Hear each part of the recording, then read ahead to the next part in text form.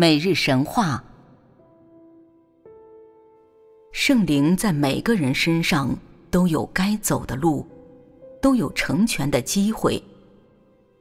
借着消极，使你认识到自己的败坏；再借着脱去消极，使你找着实行的路。这对你都是成全。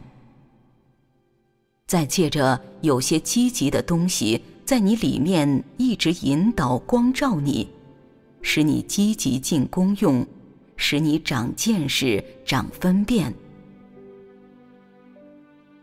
在你光景好时，特别愿意看神的话，特别愿意祷告神，听讲道也能结合自己的情形。这个时候，神在你里面开启光照。使你在积极方面认识到一些东西，这是在积极方面成全你。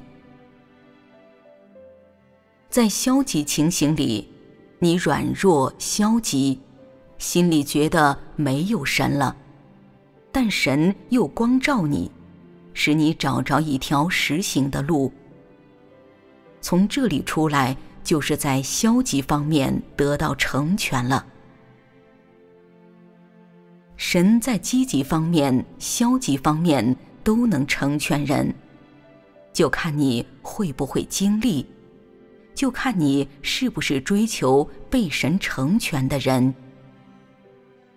你如果真追求被神成全，在消极方面不能使你受损失，而且能使你得着更实在的东西，更能认识自己里面的缺少。掌握自己的实在情形，看见人一无所有，什么也不是。不经试炼不知道，不经试炼总觉得自己比别人高，比谁都好。通过这些，你看见，以前都是神做的，都是神保守的。一进入试炼之中，爱心没了。信心也没了，祷告也缺少了，唱诗也唱不起来了。不知不觉，你就从中认识了自己。